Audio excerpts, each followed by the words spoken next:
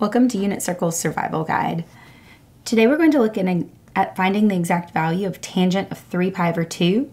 And usually I like to use the SARC method, but I think it's important to notice that the angle that we're trying to find the tangent of is a quadrantal.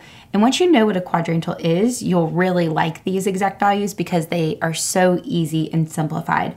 We really can simplify SARC to just the first and the last step. So I like to call it S and C for quadrantal angles.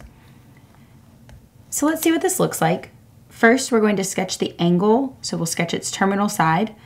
Um, then we'll find the coordinates and calculate. So we'll find whatever trig ratio we are looking for.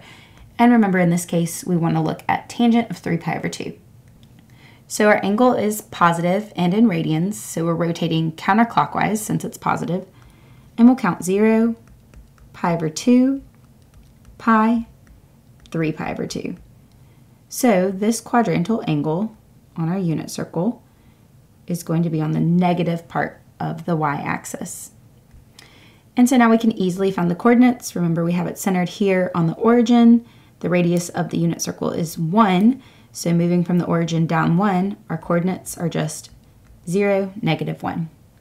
And now we can calculate the trig ratio we want, the tangent. So the tangent of an angle on the unit circle is going to be calculated by the ratio y divided by x. So here, if we try that calculation, we have our negative 1 is y, divided by 0, that's our x. So here we have a big red flag. Of course, we can never divide by 0.